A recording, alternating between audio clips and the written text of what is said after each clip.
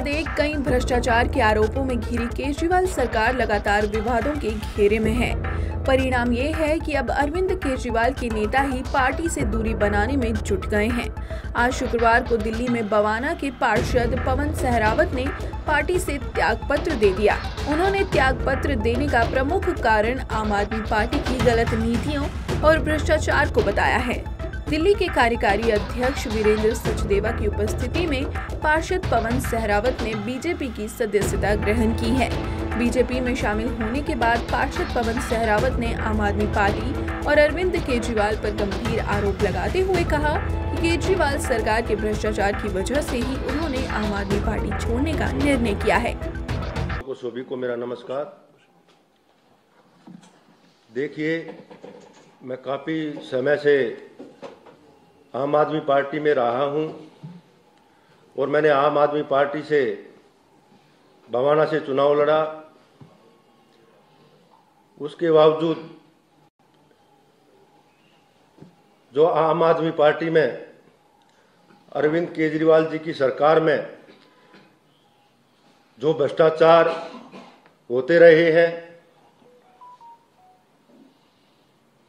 उन भ्रष्टाचारों को देखते हुए हमारा इस पार्टी में दम घुटने लगा।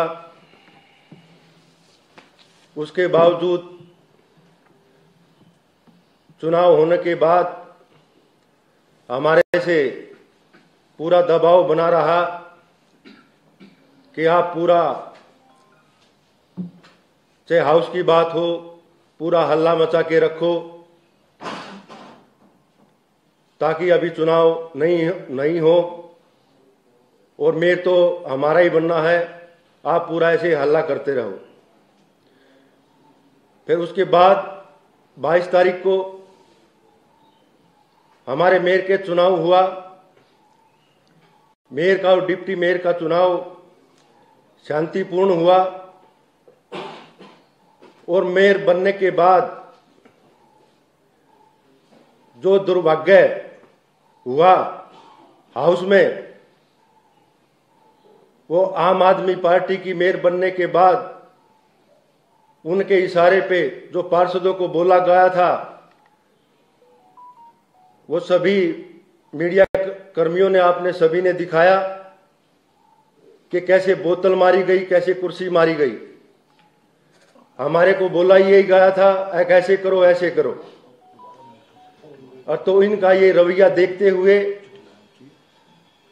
आज हमने आम आदमी पार्टी को छोड़कर और मोदी जी विचार धारा बीजेपी को ज्वाइन किया। हमको जो 22 तारीख को मेयर मिला, उसने पूरे सदन को कूड़ा ही कूड़ा कर दिया, पूरी बोतलें चली, पूरी कुर्सियाँ चली।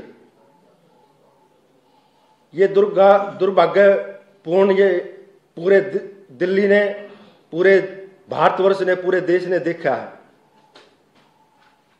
तो ये एक आम आदमी पार्टी, अच्छे विचारधारा की पार्टी नहीं है और हमने इसीलिए आम आदमी पार्टी को छोड़ दिया कि आम आदमी पार्टी के इस केजरीवाल की पार्टी में जो भ्रष्टाचार है, मैंने उसलिए पार्टी छोड़ी और बाईस तारीख को जो हमारे मेयर का चुनाव हुआ उसमें हमारी किसी भी पार्टी से हो, हमारी बहन हो, हमारी बेटियाँ हैं, वो पार्षद थी, वो भी रोने लग रही थी। जब वो बोतलें फेंकी जा रही थी, कुर्सी मारी मारी जा रही थी, ऐसे हमने अपने इतिहास में इतने साल हमने भी राजनीति करते हो गए, हमारी पत्नी भी पहले पार्षद रही। हमारे चौधरी नारायण सिंह जी तीन बार कौंसल रहे, हमारे दादाजी हैं। हमने अपनी पार्टी में कभी ऐसा नहीं देखा। बता दें कि दिल्ली की केजरीवाल सरकार शराब घोटाला, शिक्षा घोटाला समेत कई मामलों में कानूनी रूप से घिर चुकी है। पार्टी के मंत्री और बड़े नेता इन आरोपों में जेल की हवा खा रहे हैं। वहीं एक दिन पहले गुरुवार को पंजाब के बठिंडा से आम आदमी पार्टी के विधायक अमित रतन कोट फत्ता को पंजाब विजिलेंस ब्यूरो ने रिश्वत के आरोप में गिरफ़्तार किया था। क्योंकि 16 फरवरी को बठिंडा में उनके पीए ऋषम गर्ग को 4 लाख रुपए की रिश्वत लेते रंगे हाथ पकड़ा गया था।